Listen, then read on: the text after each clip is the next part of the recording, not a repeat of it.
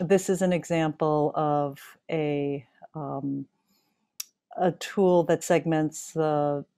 anatomic portions of the brain. It's uh, based on the FreeSurfer uh, protocol, one of the de facto kind of gold standard brain analyses tools. This is a tool that's widely used in uh, neuroimaging research as well as clinically. Some people are looking at it in dementia, neurodegenerative dis- disorders, and um, chronic uh, neurologic disorders like MS. So again, we um, it's just one example of, of many different models that are out there now, but has this kind of U shape, and this is called the UNet, um, where uh, you you know for classification you kind of do this downward arm